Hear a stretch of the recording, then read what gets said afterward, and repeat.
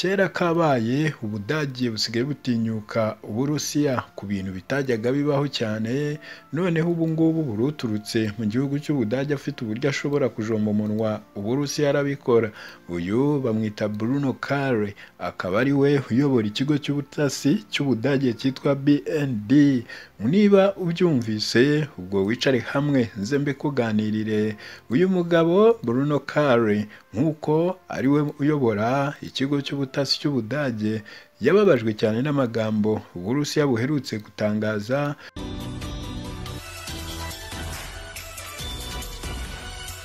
yagusuhuje nanone nguhaye ikaze kuri Rwanda Paparazzi TV ni Very Frank nk'uko bisanzwe ikaze kuri mwese abo tugiye kuba turi kumwe namwe muri aya makuru ndetse tugakomezanya kugeza tuyasoje.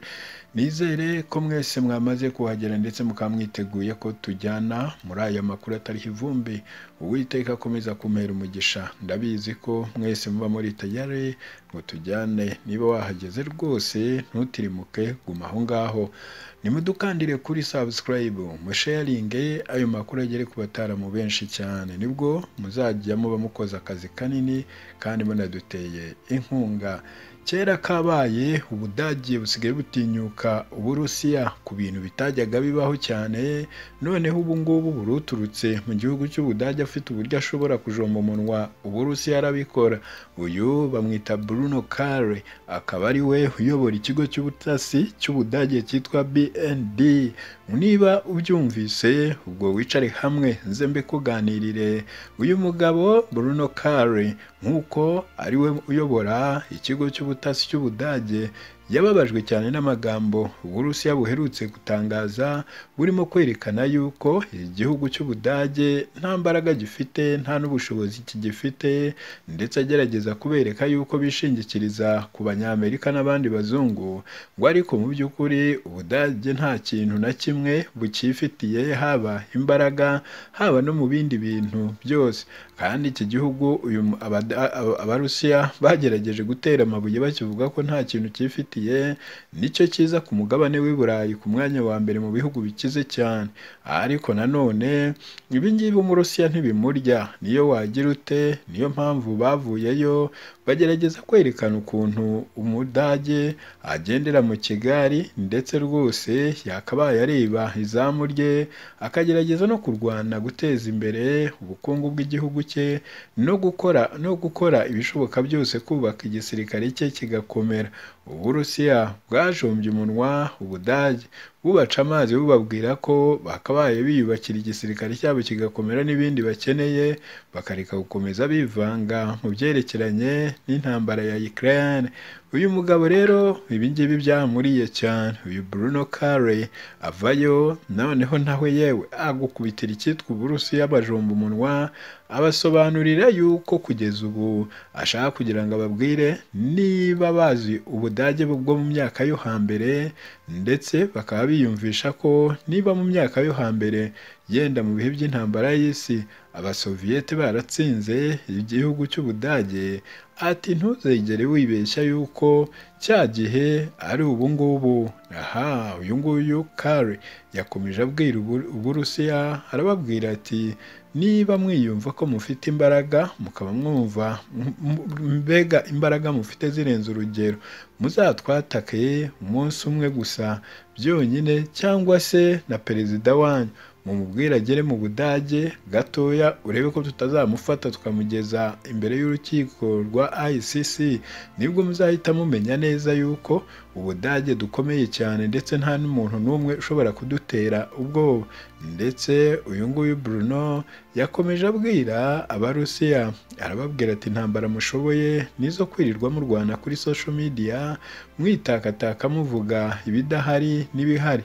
Yego imbaraga ngo mushobora kuba muzifite nk'abarusiya. Ariko kandi birababaje kuba mushobora kwibwira yuko ubudage ari bwa bundi muzi mu myaka yo hambere. Bruno Kare uyu nguyu ayobora ikigo cy'ubutasi cy'ubudage. Ni gake cyane ushobora kumubona yavuyeyo akavuga. Ariko kubera ko ngo aba afite amakuru ahagije yerekeranye na buri gihugu ngo ntabwo areba ko uburusiya habe ibyo buba butangaza n'ibyo buba buvuga nta hantu bihuriye n'ubushobozi cyangwa n'imbaraga baba bavuga bafite. Ati rero niba koko uko mubivuga yaba ariko mwabashaga kutwiyereka rwose turabizi.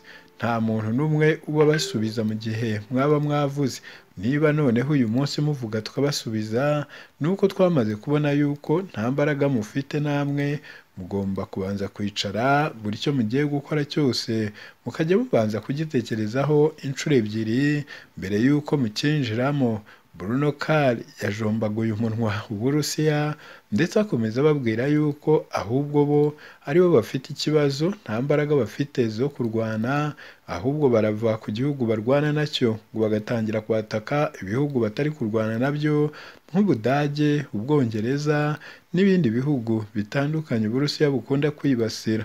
Bruno Kari yabwiye Uburusiya yuko bagomba kujyana ngo bagomba kurwana intambara ziri reality apana gukomeza bajya mu itangazamakuru barimo bivuga ibigwi ndetse berekana yuko bakomeye. Isaha irageze yuko gukomera kwanyu tukubona n'isi yose ikakubona tudakomeje kuzana ibintu bya fanatizme cyangwa ibintu byo gukomeza kwishira hejuru. Ndetse Bruno Kari yagerageje kumvisha Uburusiya ati mu magambo muba muvuga murimo kwataka ibindi bihugu mujye mutekereza yuko isaha n'isaha uyu munsi hashobora ari kuwa mbere ariko ejo bugacya atari kuwa mbere. Bruno Kari yaje gusoza abwira abwira abarusiya yuko bagomba kwigendesereza cyane kuko uyu munsi ubudage burakomeye mu mpande zose ngo ibyo bari kwibwira yuko ubudage bwaba budakomeye ngo ukine uko ni ukwibeshya ati icyo mwakishe reka dusubire mu kanya uwiteka akomeze abane nawe turi kumwe Paul Kagame President of the Republic of Rwanda, for a conversation with Bloomberg's Jennifer Zabasaja.